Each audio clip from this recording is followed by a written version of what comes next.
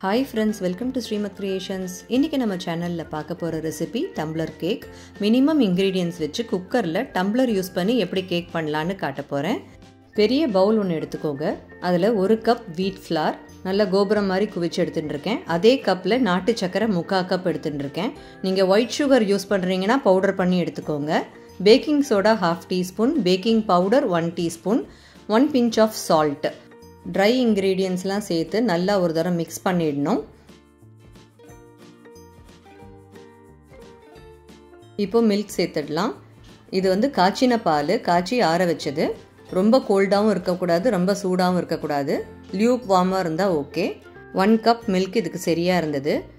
நல்லா கலந்து விடணும். லம்ஸ் ஃபார்ம் ஆகாமல் கலக்கணும். கூடவே ஒரு டீஸ்பூன் வெண்ணிலா எசன்ஸ் சேர்த்துட்டுருக்கேன். இது வந்து கேக்குக்கு நல்ல வாசனை கொடுக்கும். என்கிட்ட டியூட்டி ஃப்ரூட்டி இருந்தது. அதையும் ஒரு கால் கப் சேர்த்துக்கிறேன். கேக் சாப்பிடும்போது நடுவில் நடுவில் அந்த டியூட்டி ஃப்ரூட்டி கிடைக்கும் போது குழந்தைங்களுக்கு இன்ட்ரெஸ்டிங்காக இருக்கும். இது வந்து ஆப்ஷனல் தான். இருந்தால் சேர்த்துக்கோங்க. இப்போ பேட்டர் ரெடி ஆகிடுது நான் இங்கே ஒரே சைஸ் டம்ளர்ஸ் எடுத்து வச்சுருக்கேன். ஆறு டம்ளர் எடுத்து வச்சுருக்கேன். ஒரே சைஸ் டம்ளர்ஸ் இருந்ததுன்னா வேகிறதுக்கு ஈஸியாக இருக்கும். எல்லா கேக்குமே ஒரே மாதிரி வெந்திருக்கும். எல்லா டம்ளர்லேயும் கொஞ்சம் பட்டர் தடவிக்கிறேன். நீங்கள் பட்டரோ ஆயிலோ எது வேணாலும் யூஸ் பண்ணிக்கலாம். இது எதுக்குன்னா கேக் வெளியில் எடுக்கிறதுக்கு ஈஸியாக இருக்கும். அட் த சேம் டைம் நல்ல மணமாக இருக்கும் கேக்கு கூடவே கொஞ்சம் கோதுமை மாவு இதில் ஸ்ப்ரிங்கிள் பண்ணி விடுறேன். இப்படி செய்யும்போது கேக்கை ஈஸியாக நீங்கள் வெளியில் எடுத்துடலாம் டம்ளர்லேருந்து இப்போ டம்ளரில் கேக் பேட்டரை ஃபில் பண்ண ஆரம்பிச்சிடலாம். ஹாஃப் டம்ளர் ஃபில் பண்ணினா போதும். இது கரெக்டாக இருக்கும். நீங்கள் ஃபுல்லாக ஃபில் பண்ணினீங்கன்னா பேக் ஆகும்போது உங்களுக்கு வெளியில் ஒழிஞ்சிடும் இந்த மாதிரி ஃபில் பண்ணும்போது உங்களுக்கு பேக் ஆகி கேக் ரெடி ஆகும்போது கரெக்டாக அந்த சைஸ் டம்ளர் சைஸுக்கு கிடைக்கும்.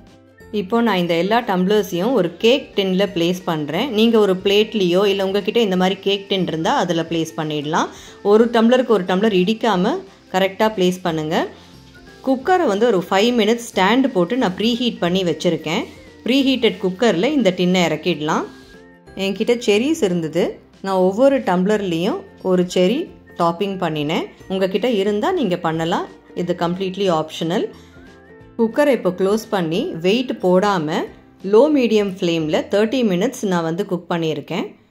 டுவெண்ட்டி மினிட்ஸ் கழித்து நீங்கள் குக்கர் திறந்து பார்க்கலாம். கேக் ரெடி ஆகிடுதான்னு செக் பண்ணிக்கலாம். ஒரு வேளை ரெடி ஆகலைன்னா நீங்கள் திரும்பவும் ஃபைவ் டென் மினிட்ஸ் குக் பண்ணலாம். இப்போ பாருங்கள் நான் தேர்ட்டி மினிட்ஸ் கழித்து திறந்து பார்த்தேன்.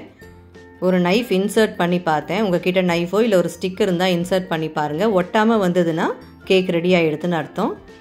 டம்ளர்ஸ் எல்லாத்தையும் எடுத்து வெளியில் வச்சிடலாம். ஒரு ஃபைவ் மினிட்ஸ் ஆற விட்டுட்டு அதுக்கப்புறமா இந்த மாதிரி ஒரு கத்தியோ இல்லை ஏதாவது ஒரு ஸ்பேட்டுலா வச்சு நீங்கள் மெதுவாக ரிலீஸ் பண்ணுங்கள் கேக்கை நம்ம ஆல்ரெடி பட்டர் அண்ட் கொஞ்சம் கோதுமை மாவு ஸ்ப்ரிங்கிள் பண்ணதுனால இந்த மாதிரி ஈஸியாக வந்துடும் ஒட்டாமல் வந்துடும்.